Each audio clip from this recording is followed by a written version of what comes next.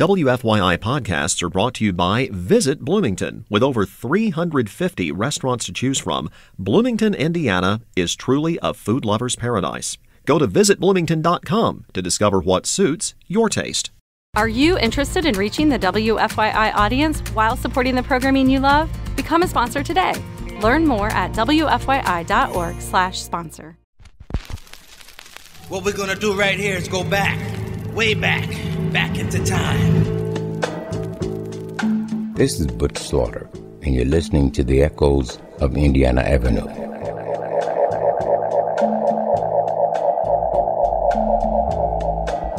Welcome to my neighborhood, the Avenue.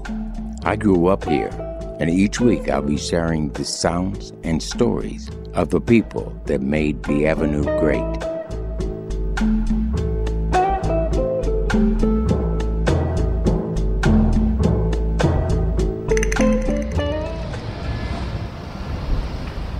Welcome back to the Avenue.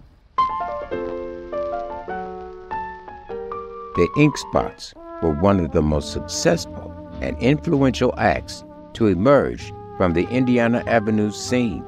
The Ink Spots were formed in Indianapolis during the early 1930s by Hoppy Jones, Charlie Fuqua, Deek Watson, and Jerry Daniels. In 1936, Daniels was replaced by the Baltimore, Maryland vocalist Bill Kenny, who took on lead vocal duties with the Ink Spots.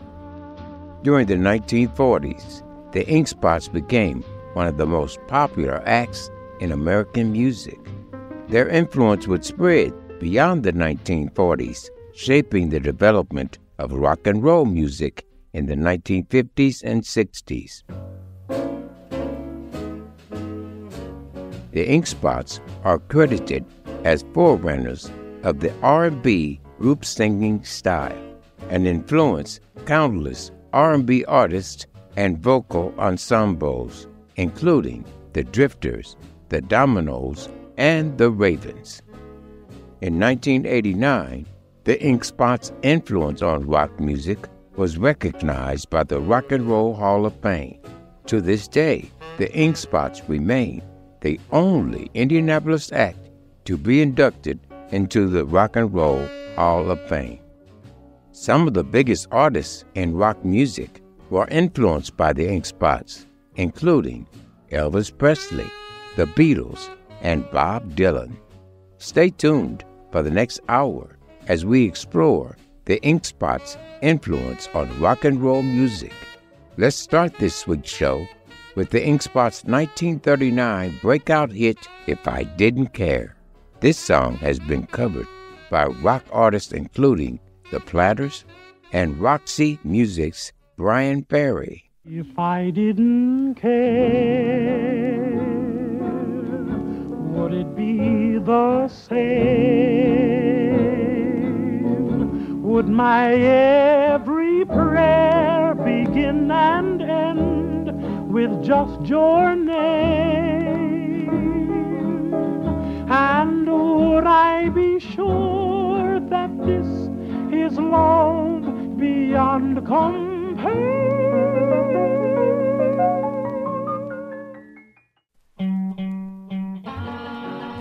That was the Ink Spots with If I Didn't Care. On this week's show, we're exploring the Ink Spots' influence on rock and roll music. On July 18th of 1953, Elvis Presley made his first known recordings at the Sun Records studio in Memphis. Elvis recorded two songs that day, including the Ink Spots 1941 single, That's When Your Heartaches Begin. Elvis's recording was faithful to the Ink Spots original, down to Hoppy Jones' spoken word recitation. Let's listen to an excerpt. That's when your heartaches begin.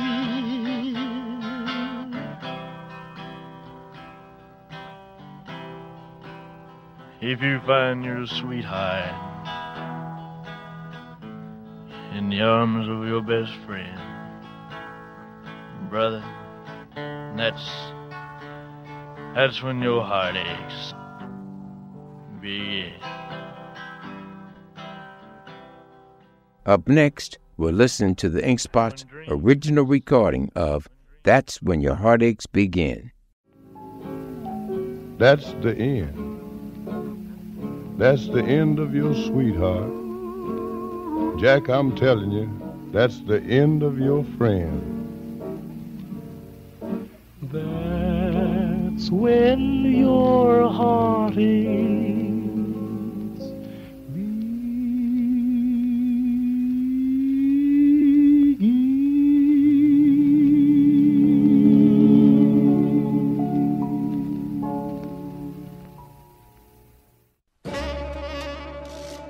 That was the Ink Spots with That's When Your Heartaches Begin.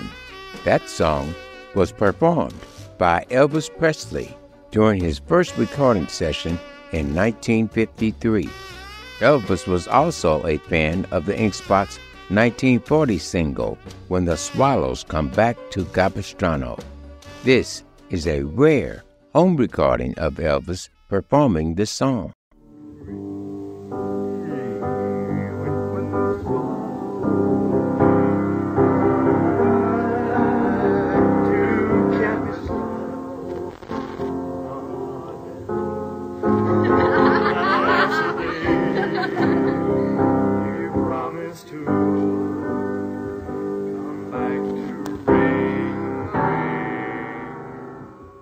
Next, we'll listen to the Ink Spots original recording. when the swallows come back to Capistrano. That's the day I pray that you come back to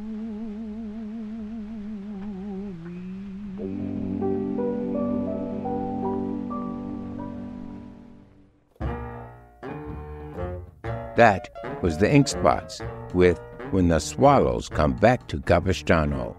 On this week's show, we're exploring the Ink Spots' influence on rock and roll music. The Beatles are perhaps the most critically acclaimed band in the history of rock music. The band's earliest known recordings reference the music of the Ink Spots.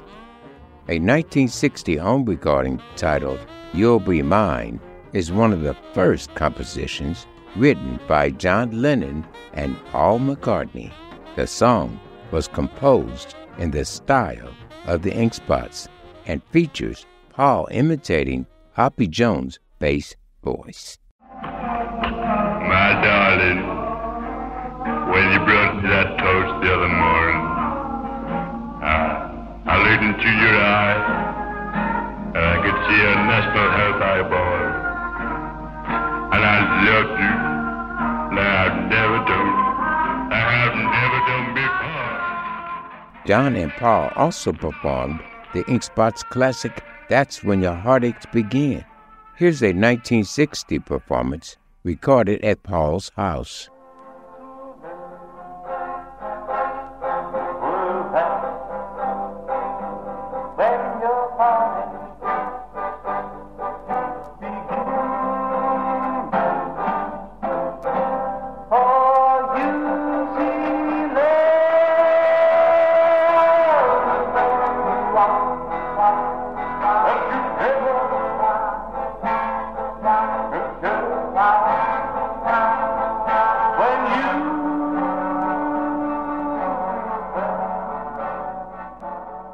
Beatles included the Ink Spots song Your Feet's Too Big in their live sets.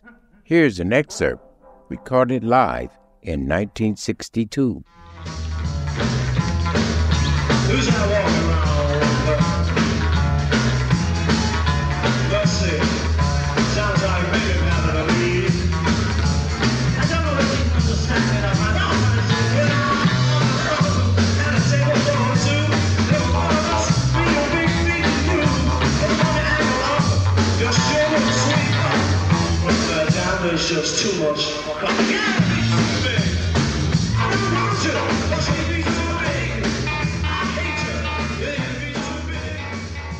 Up next, we'll listen to the Ink Spots 1935 recording of the song.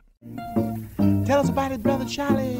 Now, honey, I like you cause you sure is nice. Oh dear. Why, you got just what it takes to paradise. You think so? Now, I likes your face, and I likes that ring. But I'm sorry, honey, cause your feet is too big. Oh, your feet's too big. You don't want you cause your feet's too big. Mad feet's too big. Hate you cause feet's too big. Tell us about it there, brother Hoppy. That was the Ink Spots with Your Feet's Too Big.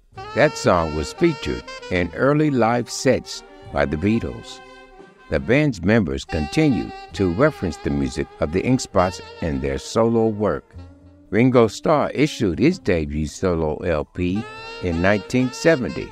The album was titled Sentimental Journey and featured Ringo singing the Ink Spots classic Whispering Grass.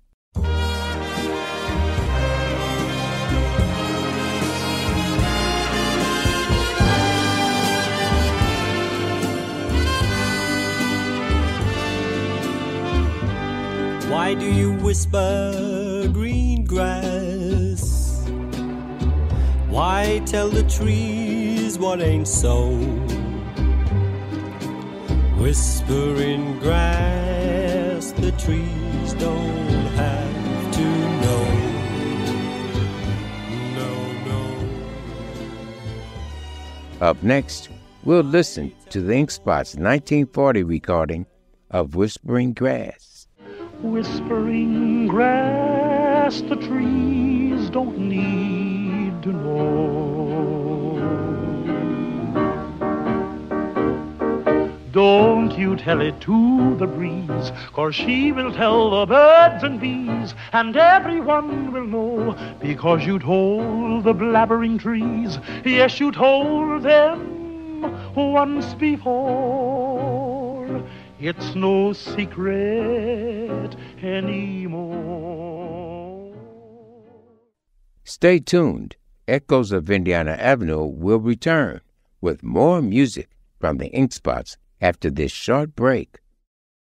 Are you interested in reaching the WFYI audience while supporting the programming you love? Become a sponsor today.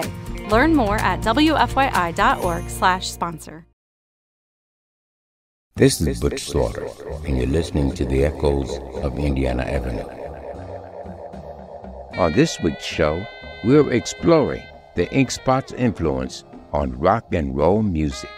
The Ink Spots were formed in Indianapolis during the early 1930s, and they remain one of the most influential acts to emerge from the Indiana Avenue scene. The Ink Spots are the only Indianapolis act to be inducted into the Rock and Roll Hall of Fame. We've been focusing on the Ink Spots' influence on the Beatles. Paul McCartney paid tribute to the Ink Spots on his 2012 album, Kisses on the Bottom. That record featured two tracks recorded by the Ink Spots Always and We Three My Echo, My Shadow, and Me.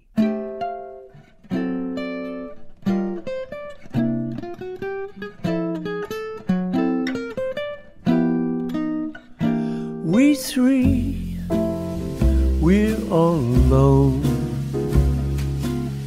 living in a memory. My echo, my shadow, and me. Up next, we'll hear the Ink Spots' original 1940 recording. Wait for you, even till eternity. My echo, my shadow, and me.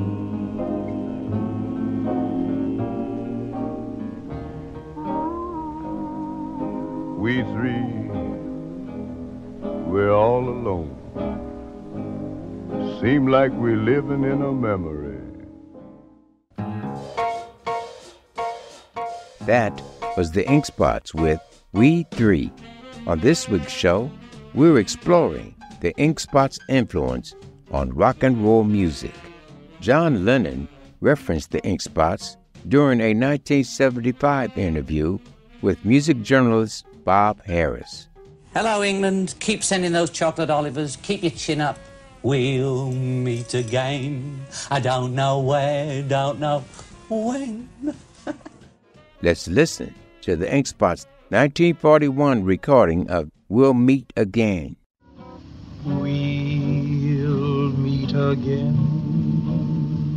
Don't know where, don't know when, but I know we'll meet again some sunny day.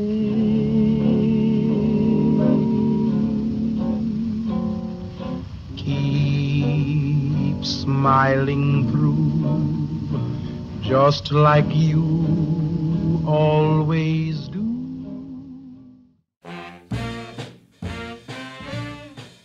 That was the Ink Spots with We'll Meet Again. On this week's show, we're exploring the Ink Spots' influence on rock and roll music. During a 2022 interview with the Wall Street Journal, Bob Dylan listed the Ink Spots' music as a personal favorite. Dylan has performed several Ink Spots tunes, including We Three, My Echo, My Shadow, and Me. Here's a rare live recording from 1988.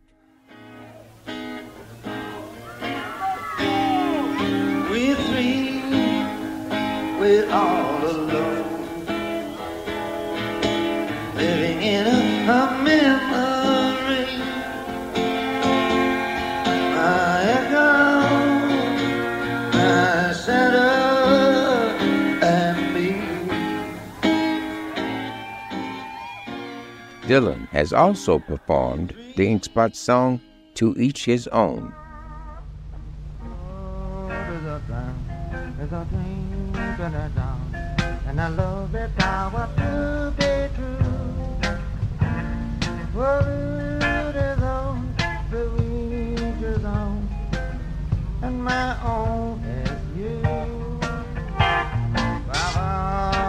Flower prayer, if the flower's not there, then a lovely flower don't come true. To Let's listen to the Ink Spots 1946 version of the song. A rose must remain with the sun and the rain, or its lovely promise won't come true. To each his own, to each his own, and my own is you.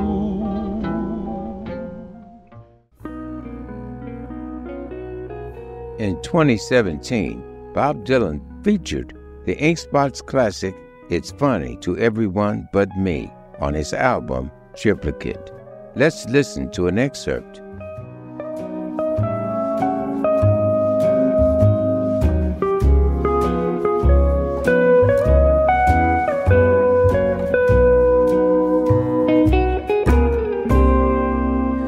It's funny how you love me, then forgot so suddenly.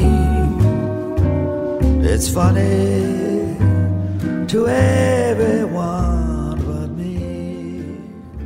Up next, we'll listen to the Ink Spots 1939 recording of It's Funny to Everyone But Me. It's so funny, I still love you. It's the joke of the century.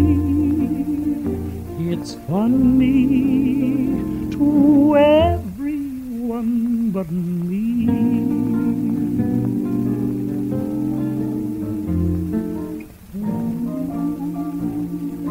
How could I make such a fool mistake?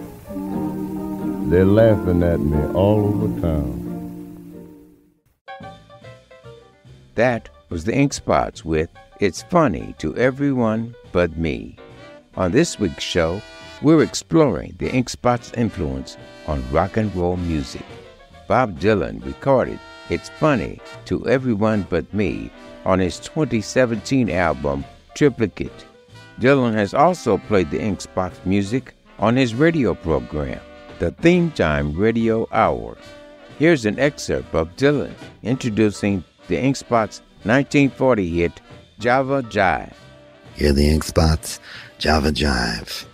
The quavering high tenor of Bill Kenny was an influence on all the doo-wop bands that came in the 50s. He sang along with Charlie Fuqua, Deek Watson, and bass singer Hoppy Jones. Watson eventually left to form his own group, the Brown Dots. But no music was sweeter than the music they made together as the Ink Spots. I love coffee, I love tea. I love the Java Jive and it loves me. Coffee and tea and the Java and me. A cup, a cup, a cup, a cup, a cup. Boy, I love Java sweet and hot. Whoops, Mr. Moto, I'm a coffee pie. Shoot me the pot, now pour me a shot. A cup, a cup, a cup, a cup, a cup. That was the Ink Spots with Java Jive. On this week's show, we've been exploring the Ink Spots' influence on rock and roll music. Even the godfather of soul, James Brown, was influenced by the Ink Spots. Brown recorded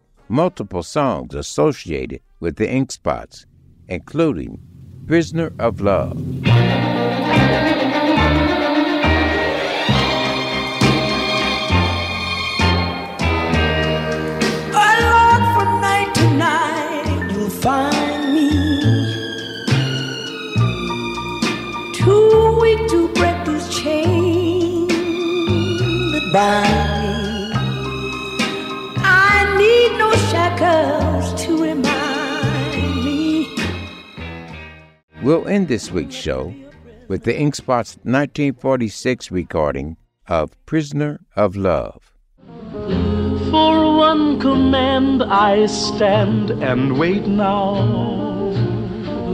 From one who's master of my fate now. I can't escape, for it's too late now. I'm just a prisoner of love.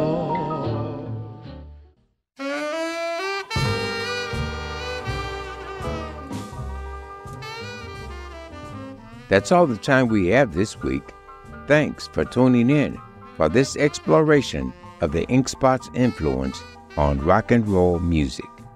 You can meet me here on the Avenue again next week, same time, same place.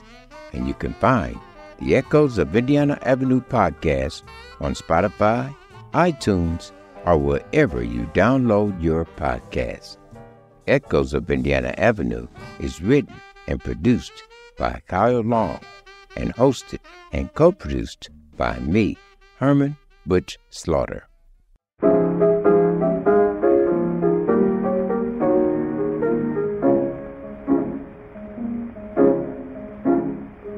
Nobody knows on uptown, baby, like I do. Do. Nobody knows on uptown, baby, like I do. Do. If you will stop and listen, I will tell you a thing or two. WFYI podcasts are brought to you by Visit Bloomington. With over 350 restaurants to choose from, Bloomington, Indiana is truly a food lover's paradise. Go to visitbloomington.com to discover what suits your taste.